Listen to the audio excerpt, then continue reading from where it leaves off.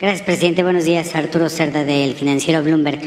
El viernes usted eh, prácticamente dio por eh, ya un hecho de que Estados Unidos había eh, hecho a un lado la posibilidad de irse al, al panel y estaban buscando una vía más de conciliación.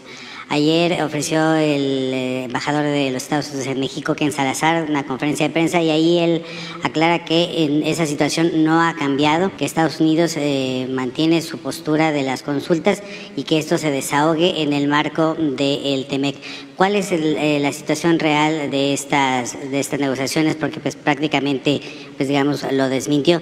Y en cuestiones económicas también ayer lo, el presidente de la ANTAD declaró que eh, después del llamado que usted le hizo a Walmart, a Chedraui y a Soriana para que eh, se ajusten a los 1.039 pesos de los 24 productos de la canasta básica, dice él que no fue un acuerdo, que no es una obligación para ellos, que en todo caso es un acuerdo de buena voluntad y que si es posible llegaran a, a esa meta. ¿Qué le puede responder, por favor? Bueno, lo primero que son muy buenas las relaciones con el gobierno de Estados Unidos, de que nosotros no queremos pleito. Y tan es así que ayer me comentó Marcelo Ebrard que lo buscaron de la Casa Blanca porque quiere hablar por teléfono conmigo hoy el presidente Biden. Entonces, si fuesen malas las relaciones, pues no se procurarían estos encuentros, estas conversaciones. O sea, es buena la relación, muy buena. Y ya el presidente Biden lo ha dicho muchas veces y se lo agradecemos, que nuestra relación se da en un pie de igualdad, de respeto a nuestra soberanía. Y eso es todo. Y son muy buenas las relaciones. Somos el principal socio comercial de Estados Unidos.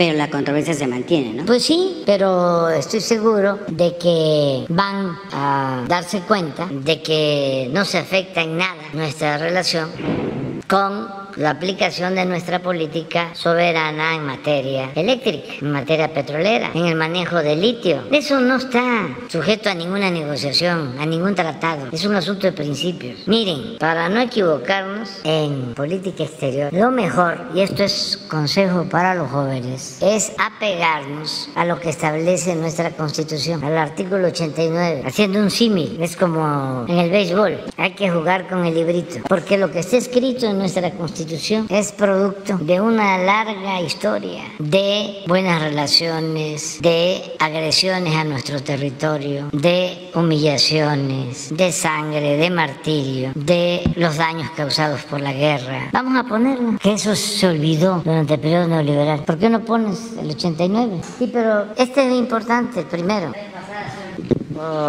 facultades y obligaciones del presidente. Promulgar y ejecutar las leyes que expida el Congreso de la Unión, proveyendo en la esfera administrativa a su exacta observancia. Ahora sí vamos a la fracción que tiene que ver con política de principios. Adelante. Dirigir la política exterior y celebrar tratados internacionales, así como terminar, denunciar, suspender, modificar, enmendar, retirar reservas y formular declaraciones interpretativas sobre los mismos sometiendo a la aprobación del Senado. En la conducción de la política, el titular del Poder Ejecutivo observará los siguientes principios normativos. La autodeterminación de los pueblos, la no intervención, la solución pacífica de controversias. Esto, por ejemplo, solución pacífica de controversias para los que quieren que tomemos partido en la guerra de Rusia con Ucrania. Pues no, no podemos. La Constitución no nos los permite. La proscripción de la amenaza o el uso de la fuerza en las relaciones internacionales. Es no a la guerra, ¿sí? La igualdad jurídica de los estados. No hay gobierno del mundo. No aceptamos hegemonías. La igualdad jurídica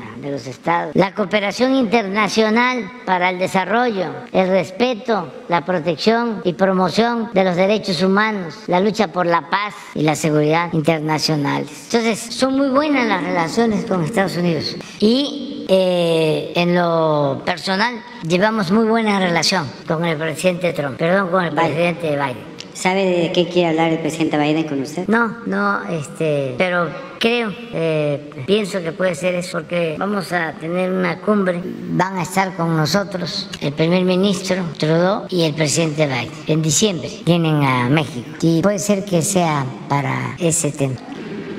¿A qué hora tiene esa llamada? Eh, se acordó a las cinco y media, pero vamos a estar nosotros llegando. Yo creo que sí nos va a dar tiempo este, a Ciudad Victoria, pero desde allá podemos hablar. ¿Y su respuesta al presidente de la ANTA?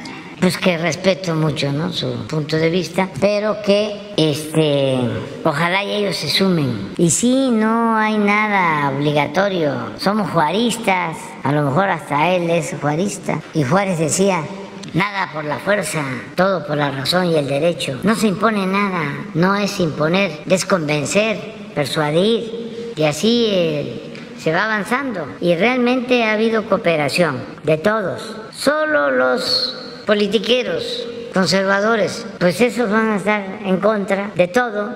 Imagínense si este, vamos a convencer a los del Reforma o de otros medios. Pues. A Claudio que es González, Pejelique, la, la guacamaya convertida en sopilote. No, esos van a seguir, pero no pasa nada, nada. Hablaba yo de las cosas que debemos de sentirnos orgullosos, ¿no?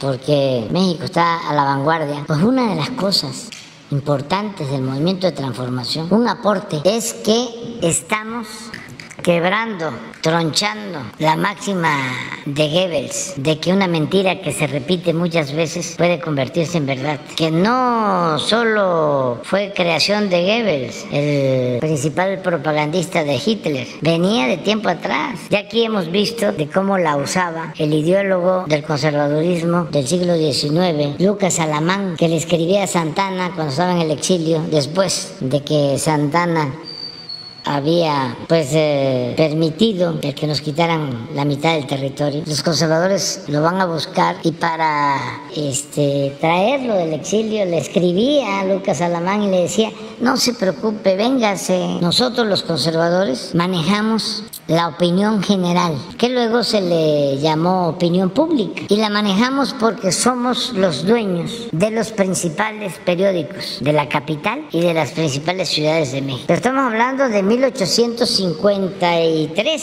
54, 55, casi 90 años, 80 años antes de Goebbels. Entonces, ¿cómo con los medios se podía someter a un pueblo o destruir a un gobierno democrático? Lo que hicieron con Madero, un hombre bueno, un idealista, apóstol de la democracia, fue víctima de una campaña feroz en medios de información. Lo acabaron, lo destruyeron. A él, a toda su familia, a su hermano Gustavo. Estaba malito de un ojo y le decían el ojo parado y así se llamaba un periódico. Nunca le perdonaron una frase a Gustavo. Por eso fue uno de los asesinatos más infames que se han cometido en la historia de México, ni repetirlo, la manera como lo asesinaron. Si dolió. La forma como asesinaron al presidente Madero, lo de su hermano fue tremendo, terrible. Porque en el porfiriato toda la prensa la tenía en un puño, porfirio, prensa subvencionada, pagada, comprada o alquilada había un fondo que se llamaba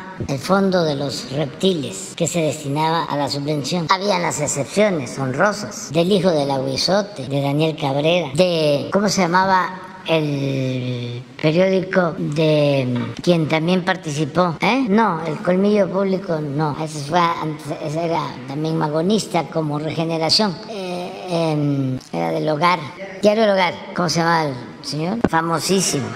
Filomeno Mata, don Filomeno Mata, Filomeno. Filomeno Mata, este, Daniel Cabrera, los hermanos Flores Magón y otros, los que estuvieron también en la huelga de, de la de Río Blanco, pero muy pocos. Y en la clandestinidad, todos. Toda la prensa la tenía controlada. Limantur, secretario de Hacienda, el encargado de repartir el, el maíz con gorgojo, el encargado de maiciar a todos. Y el periódico porfirista más leído, el que tenía más influencia, pues era el imparcial, así se llamaba, imagínense, el imparcial.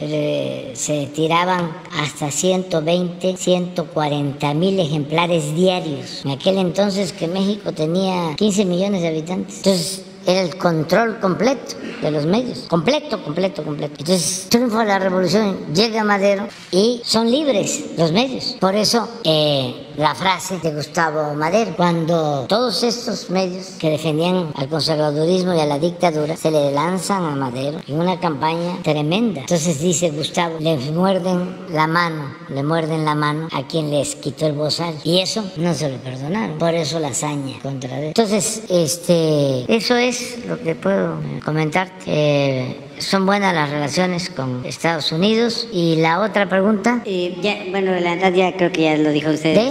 Lo de la ANTAD dice que pues es ah, sí, libertad, que, ¿no? que, que sí, que este eh, no hay ningún problema, adelante, eh, ellos pueden participar y es voluntario. Si no este, quieren vender la canasta en 1038 pesos este, de los 24 productos, pues no, pero sí hay quienes las, están vendiendo incluso más barata, 950, menos de mil.